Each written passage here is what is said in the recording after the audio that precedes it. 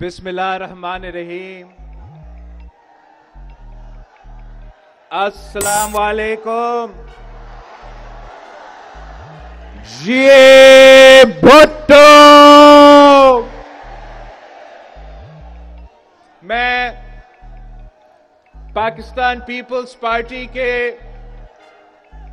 कारकुन के, मैं पाकिस्तान पीपल्स पार्टी के तंजीम के और सबसे भरकर हैदराबाद शहर के अवाम के शुक्रगुजार हूँ कि आपने हमारा ये 18 अक्टूबर के जलसा को तारीखी जलसा बना दिया है, तारीखी जलसा बना दिया।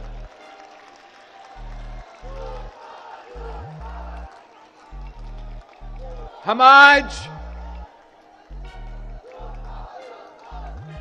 18 अक्टूबर 2007 को याद कर रहे हैं, जब शहीद मोहतरमा बेनजीर भुट्टो पाकिस्तान वापस आई थी,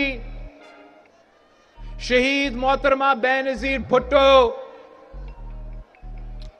एक मिशन के साथ वापस आई थी एक नज़रिया के साथ वापस आई थी, एक मंशूर के साथ वापस आई थी। शहीद मोहतरमा बेनजीर भुट्टो अगर अपनी जान को खतरा में डाल के कराची शहर पहुँची थी तो इसलिए पहुँची थी कि पाकिस्तान में इस वक्त एक आमिर राज कर रहा है, उस आमिर को हटा के अवामी राज कायम करना है।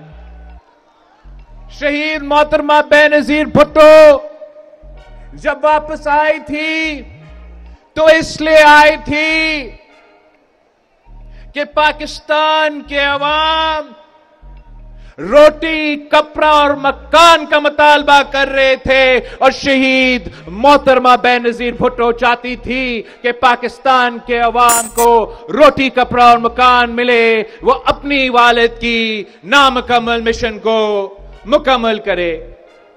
अगर बीबी आई थी तो इसलिए कि इस मुल्क के नौजवान बेरोजगार थे और शहीद मोहतरमा बेनजीर भुट्टो ने इस मुल्क की वज़ीर आज़म इसलिए बननी थी कि जब बेनजीर आएगी तो रोज़गार लाएगी।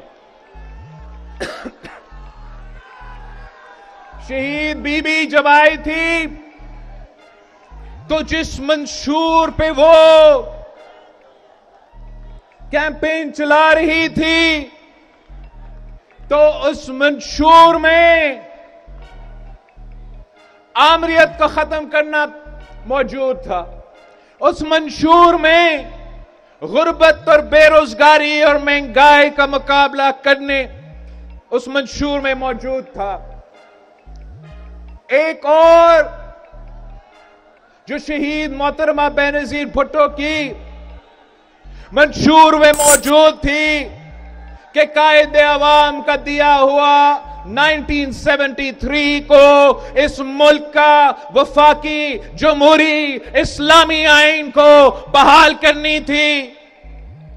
और आपकी मेहनत के नतीजों में इस सियासी जमात के कारकुन की जिदोजहद के बाद हम अठारहवीं तरमीम की सूरत में तकरीबन वो मंशूर का हिस्सा पे भी हमने अमल दरामद करके सुबह सिंध को, सुबह पंजाब को, सुबह बलोचिस्तान को, सुबह पख्तूनख्वा को अपने हक दिलवाए थे। उसी मंशूर में, उसी चार्टर ऑफ़ डेमोक्रेसी में,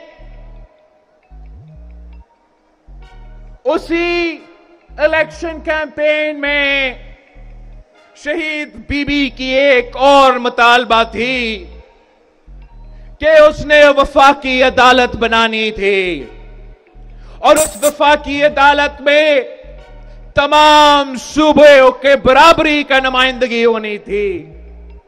और उस वफाकी अदालत ने जो पाकिस्तान का आइन था, उसका तहफ़ करना था। उस वफाकी अदालत ने पाकिस्तान के अवाम के बुनियादी हकूक को तहफ़ पहुंचाना था। और उस वफाकी अदालत पे वो वन यूनिट की सोच तोड़ के, वो वन यूनिट हमने सुबह असेंबलीज के थ्रू तोड़वाए, वो वन यूनिट हमने पार्लियामान में सेनेट ऑफ़ पाकिस्तान बना के पार्लियामान से वो वन यूनिट का कॉन्सेप्ट खत्म कर दिया था। और ये शहीद बीबी की मुतालबा थी कि वही वन यूनिट का कॉन्सेप्ट हमारा अदालत से भी हट जाए। और शहीद बीबी के ये फलसफा, शहीद बीबी का ये नज़रिया, ये मुतालबा, इसलिए सामने आए कि जितना शहीद मोहतरमा बेनजीर भुट्टो इन अदालतों की असल चेहरा जानती थी, कोई और नहीं जानती थी। शहीद मोहतरमा बेनजीर भुट्टो जानती थी कि पाकिस्तान के बनने से लेके पाकिस्तान पाकिस्तान से बनने से लेके उस दिन तक इस अदालत ने, जिसने हमारा आइन का तहफ़ करना था, इस अदालत ने, जिसने आमिर का रास्ता रोकना था, उसी अदालत ने, उसी अदालत ने आमिर का राज को रबर स्टैंप किया, उसी अदालत ने आमिर को यह इजाज़त दी, गैर आईनी इजाज़त दी कि वो आपकी आइन में तरमीम लेकर आए। शहीद बीबी इनके असलियत जानती थी।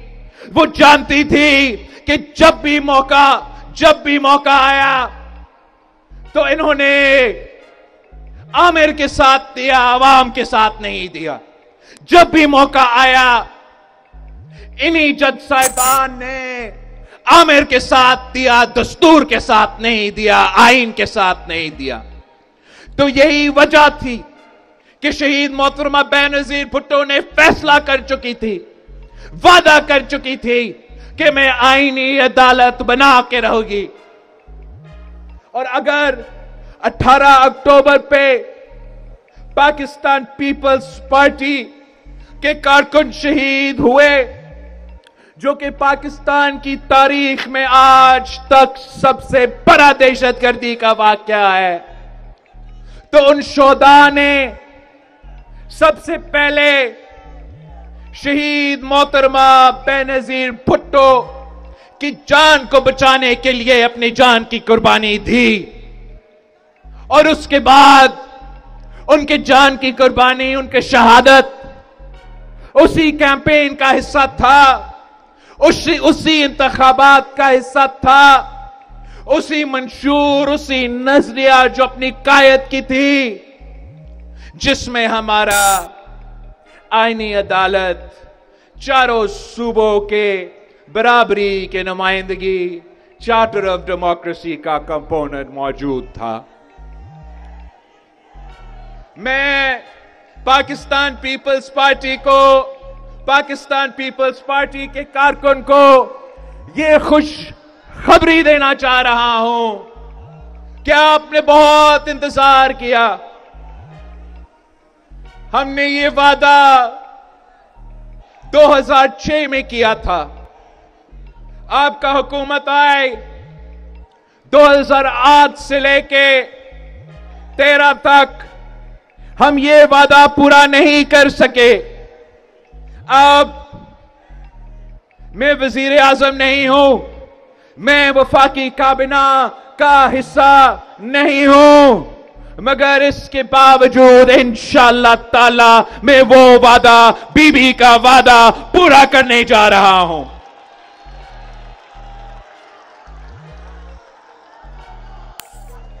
ये लोग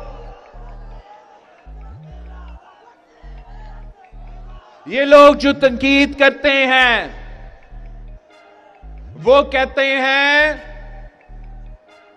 कि आईनी अदालत आईनी अदालत का कॉन्सेप्ट तो पाकिस्तान में नहीं चल सकता, दुनिया में नहीं चल सकता। तो मैं पूछता है, क्यों? जब मैं पूछता हूँ, क्यों? तो वो कहते हैं इसलिए कि कैदी नंबर फ्ला फ्ला कहता है ना। अब ये जो वफा की अदालत है ये जो आईनी अदालत है, ये जो बराबरी की नुमाइंदगी का मुतालबा है वन यूनिट का खत्म करने मुतालबा है। पाकिस्तान के अवाम इस मुतालबा के साथ खड़े हैं और मैं पूरा पाकिस्तान को दिखाना चाह रहा हूँ। कि आए, हैदराबाद के ये थटा हुआ समंदर को देखे, हैदराबाद के अवाम के ये हजूम को देखे, इन सब का मुतालबा है कि ना खपे ना खपे वन यूनिट ना खपे। इन सब का, इन सब का मुतालबा है कि बराबरी का नुमाइंदा हो।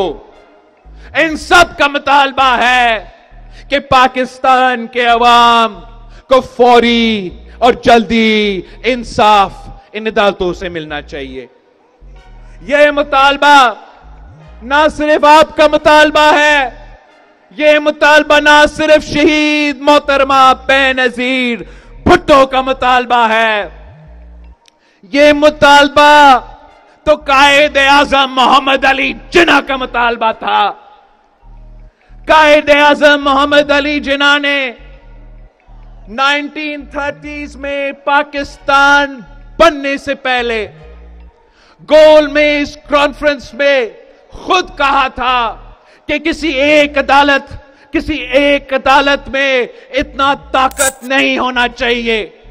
एक अदालत अवाम को क्रिमिनल केसेस में सिविल केसेस में इंसाफ दे दूसरा अदालत अवाम को आईनी इश्यूज़ पे, वफाकी इश्यूज़ पे इंसाफ दे। ये तो शहीद मोहतरमा बेनजीर भुट्टो अपनी जगह इस मुल्क की बानी कायदे आज़म मोहम्मद अली जिना का मुतालबा था। ये मुतालबा जस्टिस दुराब पटेल का मुतालबा था। क्या आप में से आप, आपको याद है कि जस्टिस तुराब पटेल कौन था? जस्टिस तुराब पटेल, वो जस्टिस था।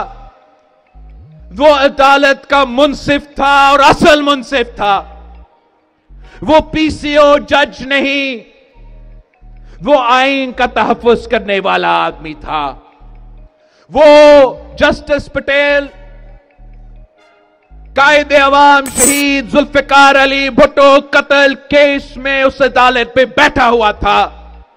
वो उन बहादुर जजेस में से थे जिन्होंने कहा था, लिखा था रूलिंग दिया था। कि कायद अवाम शहीद जुल्फिकार अली भुट्टो बेकसूर है। इनके खिलाफ जो आपने सो कोल्ड एविडेंस जमा किया है, ये नाकाफी है, ये जुल्म है, ये जाती है कि कायद अवाम की गैर मौजूदगी में आपने लाहौर हाई कोर्ट में इस सिंध का वज़ीर आज़म के खिलाफ ये फैसला दिया। ये जस्टिस पटेल साहब थे, जिसने वो इंसाफ दिया। हमें कायद अवाम की ज़िंदगी के दौरान, जो आज का अदालत तीन नस्लों बाद मान रहे हैं कि जस्टिस पटेल सच्चा था, सही था, दुरुस्त था, कायद अवाम बेकसूर था। वो जस्टिस पटेल साहब, अगर पीसीओ पे ओथ लेता तो वो भी इफ्तार चौधरी की तरह किसी आमिर का चीफ जस्टिस बन सकता था। उसका बारी था। अगली बारी जस्टिस पटेल साहब का था।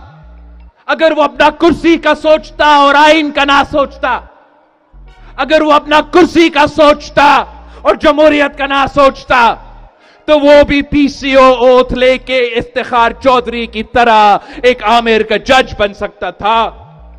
मगर उसने चीफ जस्टिस का औहदे को लात मार के इस्तीफा दिया, मगर किसी आमिर का राज को कबूल नहीं किया। उस मुंसिफ ने 1980s में मुतालबा किया कि आईनी अदालत बनाए, वफाक का बराबरी का नुमाइंदगी हो। उसके बाद शहीद मोहतरमा बेनजीर भुट्टो ने की। आज मैं कर रहा हूँ।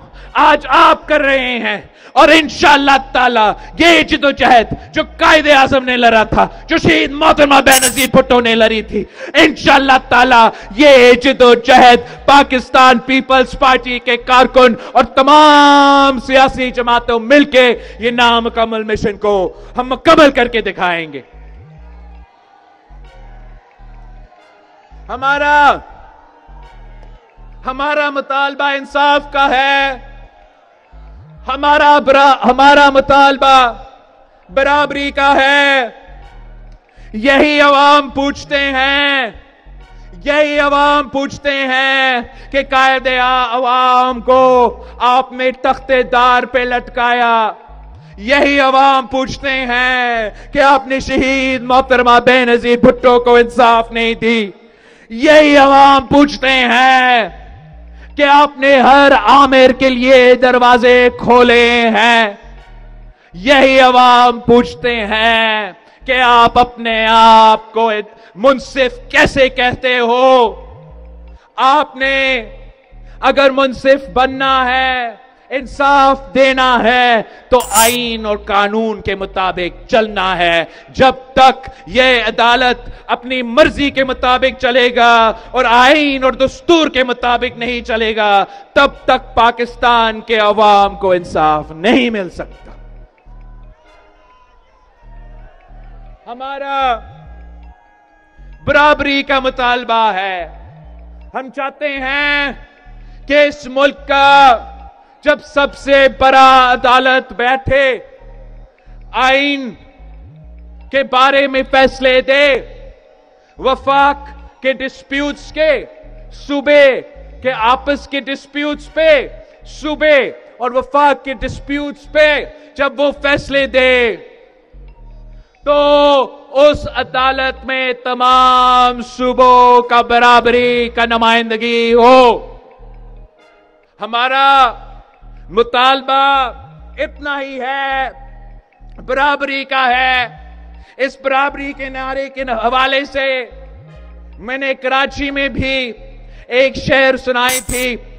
मैं आज भी उसको दोहराना चाहूँगा कि बराबरी, सरासरी, असा खरू था ऐतरी, अदल इंसाफ चेतरी, अदल इंसाफ चेतरी। बराबरी बराबरी सरासरी, असा घुरू था ऐतरी, अदल इंसाफ चेतरी, अदल इंसाफ चेतरी, अदल इंसाफ चेतरी। अब मैंने इस्लामाबाद वालों इस्लामाबाद वालों को वही शहर सुनाना है तो उनके लिए कि बराबरी सरासरी। हम मांगते हैं इतनी अदल इंसाफ जितनी, अदल इंसाफ जितने। यह हमारा मुतालबा है। हमारा जायज़ मुतालबा है। हमारा दिहाइयों से मुतालबा है। अब आपको हमारा मुतालबा मानना पड़ेगा और बराबरी का अदालत बनाना पड़ेगा।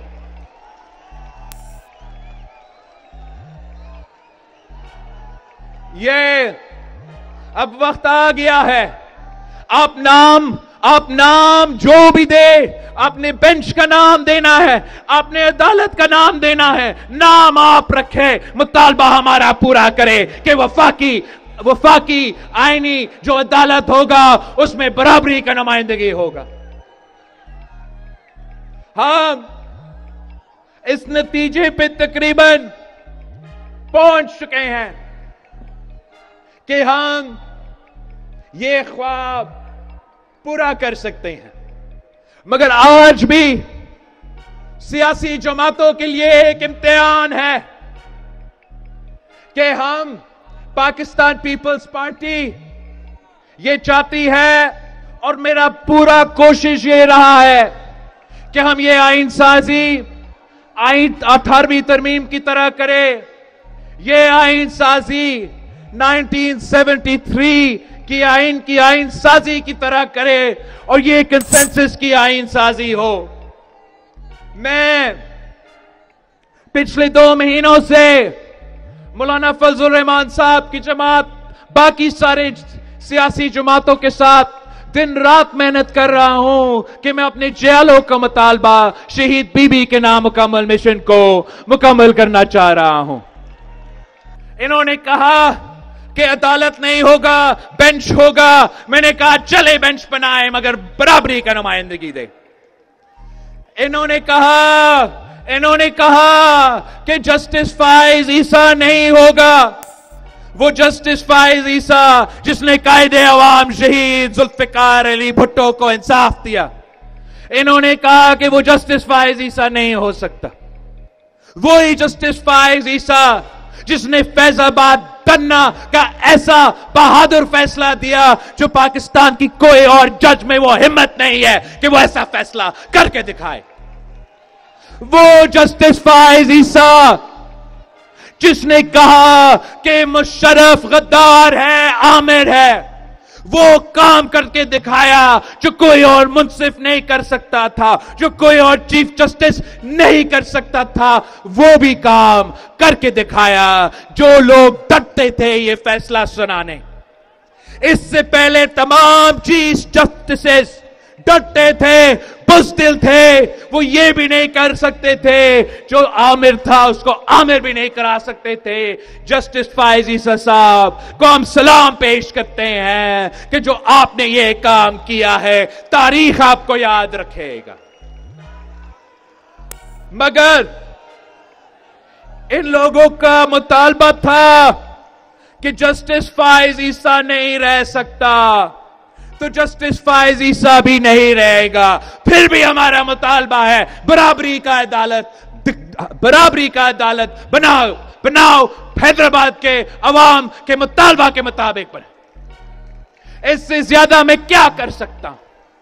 मैंने अपने अपने जो चीज़ें, अपने जो हाथ में थे, उस पर मैंने कॉम्प्रोमाइज किया है, और सिर्फ़ इसलिए सिर्फ़ इसलिए कि मैं चाहता था कि ये आइन ये दस्तूर पाकिस्तान पीपल्स पार्टी का कायद का अमानत है।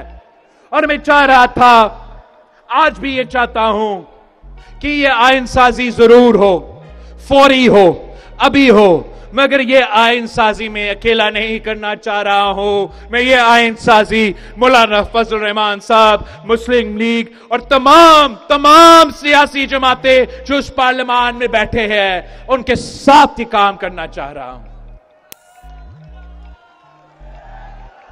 जो मुझसे हो सका, जो मुझसे हो सका, मैंने कर ली। कॉम्प्रोमाइज भी कर दी, दरमियानी रास्ता भी निकाल दिया।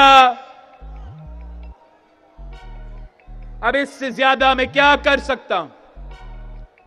मैं इनका मुतालबा था, तरीके इंसाफ वालों के कि उनको इजाज़त दिया जाए।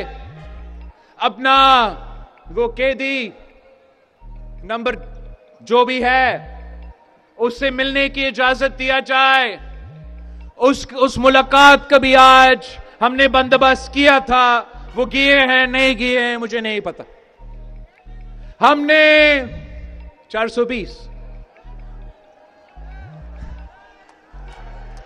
आ मैं मैं, मैंने नहीं कहा, इसने कहा, भाई, मैं मैं अपना भाई का जो लफ्ज है वो दोहरा रहा तो वो उस कैदी का भी मैंने बंद, मैंने इजाज़त दिलवाए इंटीरियर मिनिस्टर से बात करके कि ये कह रहे हैं बात करवाए अब मेरे सामने दो रास्ते हैं। हुकूमत ने ये फैसला कर लिया है। कि जितना वो इंतज़ार कर सकते थे, उन्होंने कर लिया। तो जो मैंने सामने ऑप्शंस है, वो ये कि या हुकूमत बिल लेकर आए, वो अपने नंबर्स हमारे ऑपोजिशन के दोस्त तो नहीं होंगे, लेकिन जो जमीर के मुताबिक वो दे रहे हैं, उस तादाद पे ये पूरा होगा और हम उसी तरीके से ये अदालत नून लीग की मर्ज़ी का बनाए। या ये आज भी मुमकिन है। कल परसों मुझे नहीं पता मुमकिन होगा। आज तक, कल तक तो ज़रूर मुमकिन है कि जो मेरा पाकिस्तान पीपल्स पार्टी का ड्राफ्ट है, वो ड्राफ्ट मौलाना फजल रहमान साहब की जमात ने ऐलान कर लिया मानने का। वो ड्राफ्ट नून लीग ने ऐलान कर लिया मानने का। पीटीआई वालों ने कहा था कि ईसा नहीं होगा ऐसा नहीं होगा। पीटीआई वालों ने कहा कि अदालत नहीं बनेगा उसके ऊपर। मौलाना साहब ने हमसे रिक्वेस्ट की तो हमने आईनी अदालत के बजाय आईनी बेंच बनाने का साथ दिया। तो मैं आप सबके सामने रिक्वेस्ट कर रहा हूँ ऑपोजिशन मेंबरान से, मौलाना फजल रहमान से के जमात से, पीटीआई से, बाकी सबसे, कि ये तारीख में पहली बार होगा कि पॉलिटिकल कंसेंसस के बजाय अक्सरियत के बुनियाद पे आइन साजी होने जा रहा है। मैं हाथ जोड़ के उनसे कह रहा हूँ कि ये रास्ता ये रास्ता पे हमें मजबूर ना करे कि हम इस रास्ता के तहत चले। मैं आज रात भी, आज रात भी वापस जाऊँगा इस्लामाबाद और मैं मौलाना फजल रहमान साहब एक आखिरी दरख्वास्त करूँगा। कि मौलाना साहब, ये आइन आपकी बरों के और मेरे बरों के बना हुआ आइन है। आज की सियासत भूल जाए, आज की मुखालफत और आज की हालात भूल जाए, आए, हमारे साथ आए और कल परसों इस वोट पे आप अपना वोट डाले और हम अपना वादा पूरा करें, जमहूरी तरीके से पूरा करें अच्छा ज़िंदा से पूरा करें गैर मुतनाजा तरीके से पूरा करें। अगर आप पीटीआई को साथ लेकर आ सकते हैं तो पीटीआई को भी साथ लेकर आए। पीटीआई को साथ लेकर आए और आए, हम सब मिलके सब मिलके, ये आईनी बेंच, वफाक की सतह पे, सुबह की सतह पे, अवाम को इंसाफ, फौरी इंसाफ दिलवाने के, बराबरी की बुनियाद पे एक वफाकी इदारे बनाने का काम हम सब मिलके करेंगे। ये मेरा पाकिस्तान पीपल्स पार्टी का ना सिर्फ़ मुतालबा है, हमारा रिक्वेस्ट है सियासी जमातों से कि वो आज का ना सोचे, वो मुस्तकबिल के बारे में सोचे और ये पहचाने, ये जाने कि पाकिस्तान में जितना सियासी स्पेस है, उसी सियासी स्पेस में हम सब खेल रहे हैं। और हम सब का कोशिश ये होना चाहिए कि हम पार्लियामान की इज़्ज़त में इजाफा करें। हम सियासत सियासत ऐसा करे कि सियासत का जमहूर का, सियासतदानों का कद में इजाफा हो। हम इस तरीके से सियासत ना करें कि पाकिस्तान के अवाम, पाकिस्तान की शहरी सियासत को गाली दे, सियासतदान को गाली दे और खता ना खास्ता हमारा आइन साजी को, हमारा कानून साजी को भी गाली दे। ये तमाम सियासी जमातों के लिए एक आखिरी मौका है। होश की नाखुन ले। सियासी जमातों ने कॉम्प्रोमाइज कर लिया है। हम मुतहद हो चुके हैं। जो आइन साजी अब होगा, उसी के मुताबिक होना चाहिए। मैं आपसे वादा करता हूँ कि इंशाल्लाह ताला मैं जब इस्लामाबाद से वापस आता हूँ तो आईनी बेंच और सुबह बेंच बना के वापस आऊँगा।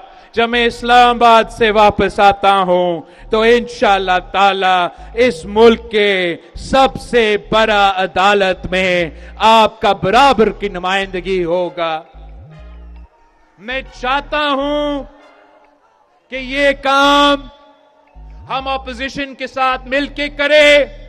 मैं इस्लामाबाद जाके एक आखिरी कोशिश कर रहा हूँ कि ऑपोजिशन जमातों को कायल करे और आए, जब भी वोट होता है, हम सब जाके अपना वोट डाल के गैर मुतनाजा तरीके से, गैर मुतनाजा आइन साजी करे। अगर मेरा ये कोशिश नाकाम रहता है। तो हम सबको फिर पाकिस्तान की जमहूरियत के लिए दुआ मांगना चाहिए, पाकिस्तान की वफाक के लिए, पाकिस्तान की सलामती के लिए, पाकिस्तान में पॉलिटिकल स्टेबिलिटी के लिए। इसलिए अगर ऑपोजिशन इतने सारे कॉम्प्रोमाइजेस के बाद आज भी हमारे साथ नहीं दे सकते हैं तो मैं मजबूर होऊँगा। मैं मजबूर होऊँगा। मुझे मजबूरन मुस्लिम लीग नवाज़ और उनके एक्स्ट्रा मेंबर्स के साथ मिलके ब्रूट अक्सरियत पे कानून साजी आइन साजी करना पड़ूँगा। इसलिए हमारे लिए ये ज़रूरी है कि हम बरादरी की नुमाइंदगी का फोरम बनाए। वो बराबर की नुमाइंदगी मैं ऑपोजिशन के साथ लेना चाहता हूँ। अगर ऑपोजिशन मेरे लिए दरवाजे बंद कर देते हैं तो जो रास्ता है, जो मुतनाज़ा रास्ता है, जो मेरा पसंदीदा रास्ता नहीं है, जिसका मैंने हर कोशिश किया कि मैं ये रास्ता पे ना चलूँ उसी रास्ता पे चलना पड़ेगा। अपने इतिहादियों के साथ दे के ये आईनी बेंच, वफाक और सुबह के सतह पे बनाना पड़ेगा। वो मुतनाज़ा तरीका होगा। उस मुतनाज़ा तरीके से इस मुल्क में जो पॉलिटिकल इंस्टेबिलिटी है वो भरता जाएगा, उसमें कमी नहीं आएगा।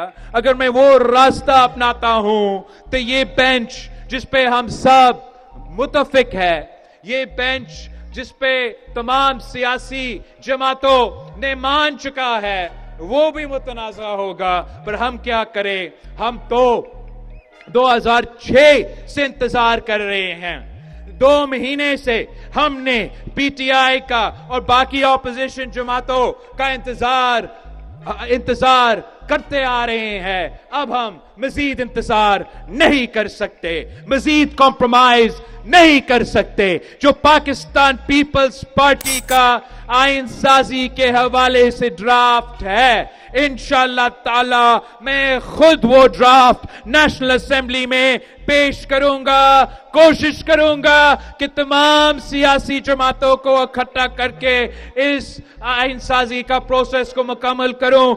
ना कर सका तो इनशाला ताला मैं हुकूमत की दो दहाई अक्सरियत के साथ मिलके ये काम करके दिखाऊँगा। और हम जब अगली बार सताइस दिसंबर पे करी खुदा बख्श पे जमा होते हैं तो इनशाला ताला इनशाला ताला वफाकी अदालत में जो इस वक्त वन यूनिट कायम है, वो भी वन यूनिट खत्म हो जाएगा, खत्म हो जाएगा, खत्म हो जाएगा। साथियों, मैं आप सबका मैं आप सबका शुक्रगुजार हूँ। एक बार फिर आपने ये साबित कर दिया है कि पाकिस्तान पीपल्स पार्टी के जियाले अपना शोदा को नहीं बोलते हैं। आपने ये साबित कर दिया है कि शहीद मोहतरमा बेनजीर भुट्टो के जाने के बाद आप शहीद बीबी के मिशन से पीछे नहीं हटे हैं। और इन ताला हम मिलके शहीद बीबी का ये वादा भी पूरा करेंगे और शहीद मोहतरमा बेनजीर भुट्टो के बाकी वादे भी हम पूरा करेंगे। शहीद बीबी का नामुकम्मल मिशन को मुकम्मल करके दिखाएँगे और पाकिस्तान के अवाम के मिसाइल हल करके दिखाएँगे। आपका आपका मैं इजाज़त माँगता हूँ। मैंने अभी भी वापस इस्लामाबाद पहुँचना है। मौलाना साहब से मिलना है और आपका ये काम, आपका ये आपका ये आयन साजी का मरहला पूरा करके डिलीवर भी करना है। जिए भुट्टो!